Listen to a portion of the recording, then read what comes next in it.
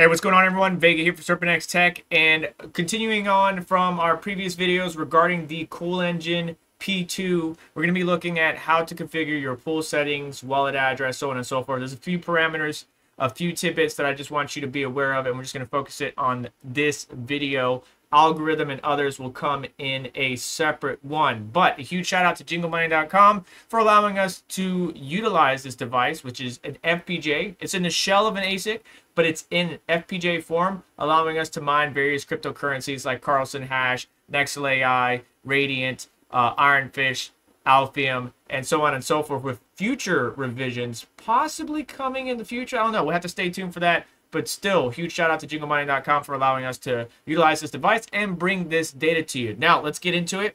And I have two versions, right? Because we have the P2 management tool, which I talked about in my initial setup video, and then I have the K10 tool uh, that is in English, right? Because the P2 is just in Chinese, so it's very hard to see. So with the K10 tool, small window right here, I'm going to drop down and select uh, the K103, right? Uh, which I believe stands for the K10 Plus, not entirely sure, but hit OK. Now the window pops up and you can see the buttons here are English, while the buttons in the original tool provided through jinglemining.com which is everything is linked down in the description, is in Chinese. So first steps first is we got to define our IP, uh, starting IP address, as well as our default gateway. Go ahead and plug that in, start revise, okay. Now a third window or a second window pops up, click that. Now go to machine info and scan machine. We should see a machine pop up right here. There it is, select it, and it hits startup status. And we're gonna have the same information show up that's already in our P2 tool. So I like to use the English version of the K10 tool to kind of help me navigate, but I really do everything and all the updates in the P2 uh, management tool. So now that we're confirming our pool, you know, our machine is online, we can see it, whatever it might be doing, we need to set up our pool. So you can see that the fifth tab in the first row, there's three rows. This is the first row right here where my mouse is at. This is the second row where of uh, buttons, and this is the third row. So the first row, last tab, or the fifth one is pool set. So if we correlate that with the P2 management tool, there it is. We got the exact same thing. They look exactly alike. Some of the buttons are not all converted, but most of them are at least what we need. For example, pool one is the first section right here. Pool two, second section. Pool three, third section and then we put our wallet address in this area and we set the pool parameter right here. And we need to talk about the pool parameter. But first things first, choose our algo. So we are in Radiant right now, but let's say uh, you just click the drop down for algo and choose whichever one you're on. So we're going to leave it on Radiant. And then we got to put in the pool information. Now, obviously, that depends on which algo you are on and also what pool you want to mine to. Uh, that's going to determine your wallet address. If you're not familiar with the channel already, I would recommend anybody that's looking for a pool to mine on is just to go to miningpoolstats.stream, search your uh, your favorite cryptocurrency, and when you do, you're going to see all the pools available and then links to them as well. So in this case, we're going to use Vipor.net, and if we go to Vipor.net and click the little rocket ship, we'll wind up going to a page where we can select our cryptocurrency, Radiant, and then see all the servers available. Now, you always want to choose what's close or best uh, suited for your location. In my case, it's going to be Georgia. And this is the server pool and address that we can use. Now, I did get this to work with the server URL, but as I talked about in my initial setup, the configuration on the uh, Jingle Mining or the ColEngine startup guide, you can see that we can either connect via IP address or the server URL. Either or would work, I got both depending on the algorithm or type of currency that I'm mining to work. Uh, but if you try the server URL dot the port number and it doesn't work, try the IP address. And to get that IP address, we can simply go to what'smyip.org, right? Click on who is DNS and actually search that server URL. Take out the port number and take out anything before it. So we just want the US SE for southeast.vipor.net, DNS lookup, and boom, there is our IP address. We could set up a, a number of different ways. So we could either do stratum TCP IP colon slash slash the server URL exactly as Vipor presents it to us.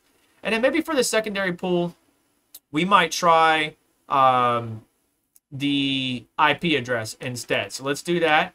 Uh, you'd only have to configure one of these pools, but it's good to have backups. So let's go ahead and grab this IP, put that in there, and obviously want to include the uh, port number, but with colon 5067. And then you can copy again or put in a different server. Like let's say we try the, I wouldn't try the SSL. I would just stay on Stratum TCP.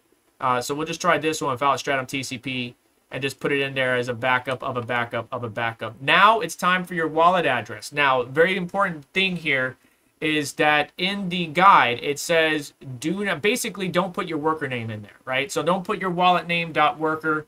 Uh, don't put any extra parameters in there. Like for example, with unmineable, don't use the reference um, URL or like your code that you might get from Red Panda or myself, SerpentX uh, to save on fees. It just seems to trip up something. So just don't put anything else, just your wallet address. However, if you have like F2 pool or Braiins pool or whatever you might be using uh, that supports, because Braiins is, is just SHA-256 or Bitcoin, you might be provided with a user and sub account. So in this example, what we would say here is, let's say our our, our user or our sub account is, you know, uh, Caspa X or Caspa X dot you know, XSF1 is the worker or, or the, the, the worker on that sub account. That's how that would look. So Caspa X dot XSF1. But in this case, we just want to put our wallet address. Now, obviously, depending on the cryptocurrency, you're going to have to go and get your wallet address if you don't have one already. Uh, there's a number of different ways, and I even have some guides on the channel that can help you out depending on the uh, cryptocurrency, Alephium, Radiant, so on and so forth, how to generate a wallet, how to grab a wallet address, so on and so forth. But let's just assume that you already have your wallet address. We put all that in, so now we got our server URLs, port numbers, all that is good, as well as our wallet or sub account name. Now, pool parameter. Something I want to cover uh, is pool parameter does vary based upon the algorithm you're on and the server you're with. For example, with Alephium, even though it's on Hero Miners, you can see that pool parameter is default, while Karlsen on Hero Miners uses pool parameter fish. Okay, so just pay attention to that. What I would recommend is, is because it only has uh, hero miners, hash pool.space, f2 pool, um, and that's pretty much it. What I would say is try default first under pool parameter. And if that doesn't work, try fish or 666 pool. What you would actually see is if you do put on default um, and set it, and you go back to look at the status page, and it's not saying mining or it restarts because it's getting too many hash errors, which you can see at the top section here. If we scroll over, I'm going to show you exactly where the hash errors are. The hash error is going to be up here in this area. So you can see my hash error rate is 0.8%. And most importantly is accepted shares and rejected shares. So this one shows two, uh, over 2,600 accepted shares, 164 maybe stale or rejected shares. So that's actually not too bad. But if you're getting a whole bunch, the miner will continue to restart and then you'll be stuck in a loop. So if default doesn't work, try fish. If fish doesn't work, try 666 pool. But once you choose the correct pool parameter, set it up everything else, what do we need to do? We need to click start set. When we hit start set, we'll be able to see uh, a prompt pop up and then that means it has been updated, then hit OK. And then what we might actually see is at the worker level or going back to the main tab, machine info, we might be able to see it updating or modifying. It might change from mining to stopping and then to loading.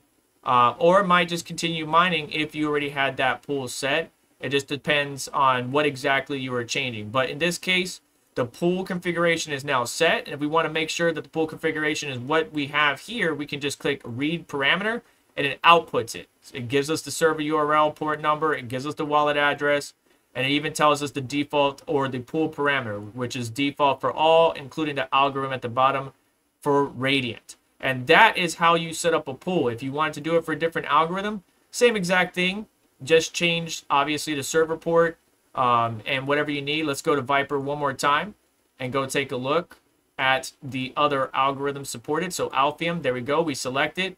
You can see the port number changed a little bit. Pool might be a little bit different but pretty much everything else is the same except so it jumped from 5067 port to 5050 so we choose Alephium uh, we put in our wallet address and then choose default at the beginning fish if it doesn't work or we get a lot of errors so on and so forth if I wanted to convert this server URL one more time, it's probably going to be the same IP address because nothing really changed as far as the southeast, US southeast from Vipor. So the IP address probably going to be the same. So the only thing I need to do is change the port number. And then we're good to go there. As well as this one's exact same thing. So all of that is good to go. I'm changing the algorithm and I can hit start set, click OK, wait a little bit, check it at the miner level, and then just hit read parameter to read what it's actually written to the device. So that is how you configure and set up your pools. As I always mentioned, doesn't matter which miner or hardware you're using. When you have your pool configured and you set it, don't just set it and forget it. Go to the pool level, check it out, and make sure that the hash rate is reporting correctly uh, and that you're not mining to somebody else's wallet address. But it's just that simple. Just know that if you did change, for example, from Radiant to Alephium here, and you didn't update the algorithm, you will need to do that. And we'll go over how to update the algorithm on these machines in a different video, so stay tuned for that. But that's going to do it for today. So hit that like button on the way out. Make sure to get subscribed. Hit notification bell to stay up to date, as well as check out additional links in the description. That'll support the channel and what we do here. And you have yourself a wonderful day. Take care. I'll catch you next one.